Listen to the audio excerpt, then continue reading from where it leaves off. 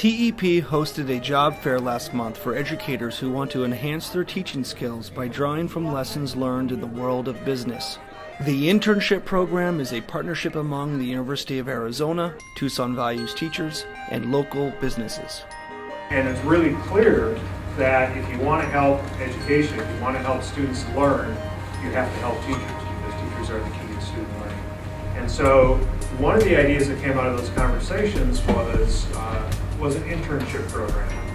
And so we're trying to see what have we learned from this longer term experience that we can that we can do in this kind of program where teachers can come in and do an internship but also work with us a bit and of course alongside that to help figure out this relationship between how the real world operates and what happens in the classroom. Last summer, as a part of the program, I work in TEP with the environmental department. So when I take this uh, information back to my classroom. And students are always, when they do math, they feel like, uh, Mister, where I'm going to use this math? I don't think uh, this is, I'm going to use anywhere. And kind of this is a kind of mm, really nice uh, motivation point for the students. We had two teachers here last year and are now up to six teachers here this year that will be working for us this summer.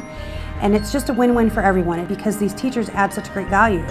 Um, and it's you know, it's just a very positive thing for any employer to be a part of.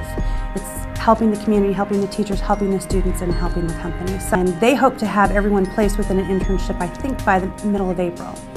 So that's what we've been working towards, and we've secured six that we're very excited to have here. We'll have two in the um, T&D operations, transmission and distribution operations area of our company. We'll have one in engineering, another in the Information Services Information Technology Department, IS Security specifically, and then we'll have two in the power production engineering area.